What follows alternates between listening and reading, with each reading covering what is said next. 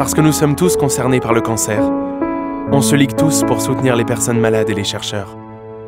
Faites un don sur ligue-cancer.net.